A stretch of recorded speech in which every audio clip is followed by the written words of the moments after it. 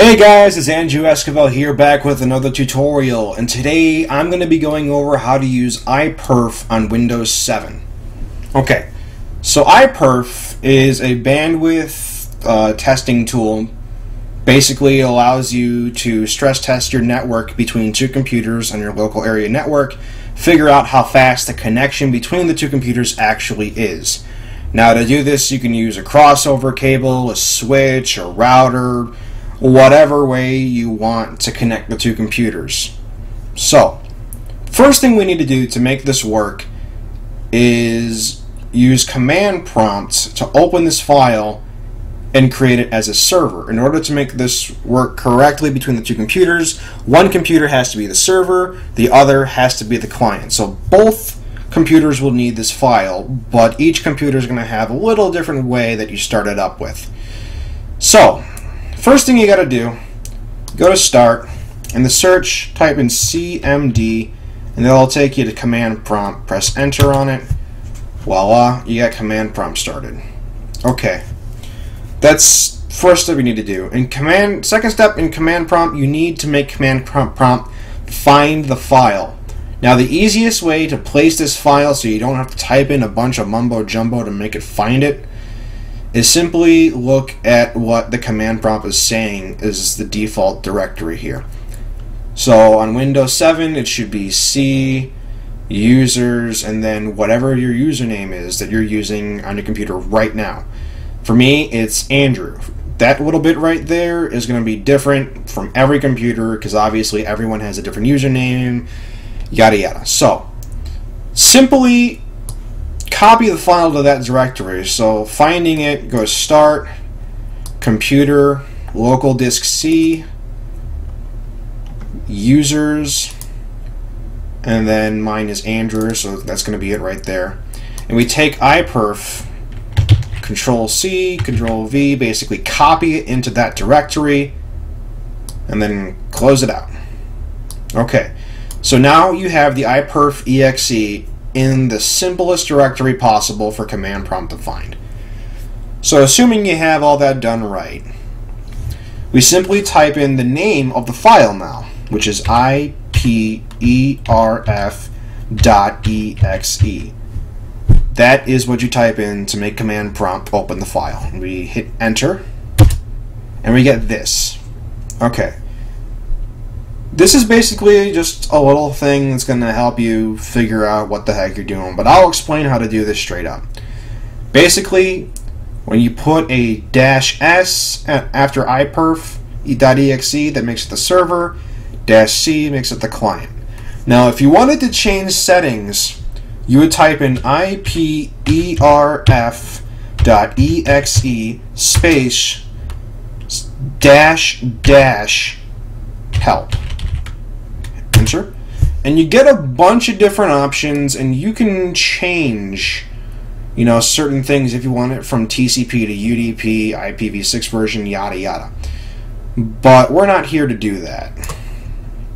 We're here to show you just the basic ways to make this work. So, setting your main computer up as the server. It's really simple. You just type in iperf.exe space dash s and then enter. Voila! This is what you want to see for your server, okay? Now keep in mind, this is going through a particular port, port 5001. So if it's not connecting, check your firewall you do have to open this port to make it work. Now this is standard procedure for both your software and your hardware firewall. So if you're using a firewall, like a hardware firewall or a router or something, open up those ports. Otherwise, it's not going to work. And on your software firewall, you got to open up those ports too. If you're using Windows Firewall, you probably have to go in and select the application, yada yada, open it up. If you're using Comodo, it'll pop up on the side and say, hey, someone's trying to access this port. You want to let it? Just click allow. Okay, so this right here is your server open in CMD with iPerf. Okay? Now, for the sake of just showing you how to do this, let's pretend that now I'm on another computer, a different computer than the one I just previously used to make the server. So, pretend with me for a second that I'm on my second computer and I went through the processes of copying iPerf into the simple directory like I did before copy it in there I already have it in there but let's let's pretend I just did all of that over again on the second computer okay now on this so-called second computer we're going to do the same process CMD we're going to open it up only this time instead of doing what we did before we're going to type in IPERF space dash C space. And now here comes the tricky part.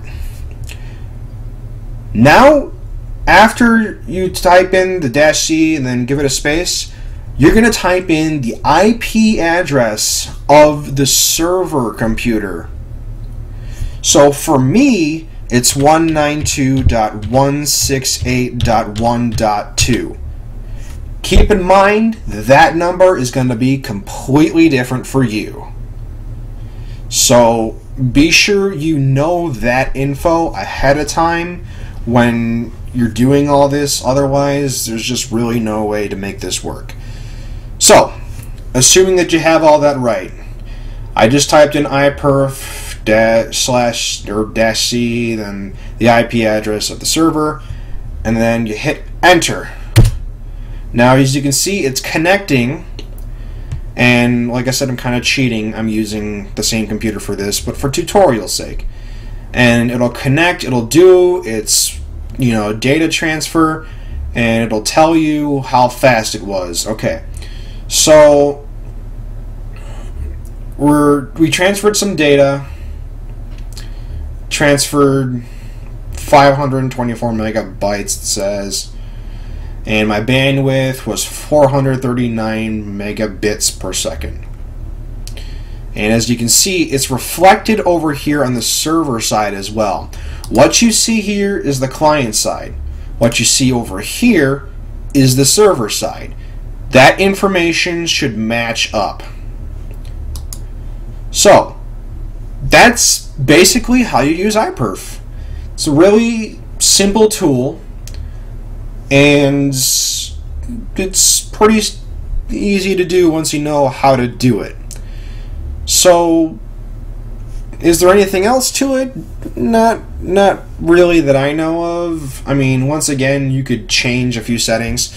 Now, I know some people want to test UDP over TCP because UDP is one of those kind of protocols where it's like, yeah, just best effort protocol. Basically, TCP when it get when you're on that protocol, if a packet of data is like, hey, it's missing or it's corrupt, it'll go back and request that the, the data be resent. Whereas UDP is like just send it and it'll take what it gets. UDP is for like voice calls and stuff like that, things that you don't want to be retransmitted and screwing up. Uh, basically, you're allowing it to just take whatever it gets. So you can change it to UDP, and obviously your tra- transfer rates are going to be different. Everything's going to work a little different. But uh, essentially, as far as just testing between computers, this works. So you can test it a few more times. Uh, you should be able to press the up arrow key, and it'll just retype in whatever the last thing you typed in was and you hit enter again. It'll do the test again. And you just wait for it. It's doing its transfer. Voila. As you can see my transfer rates were different than last time. It's always it's not going to be 100% perfectly consistent with each other because that's just how it works.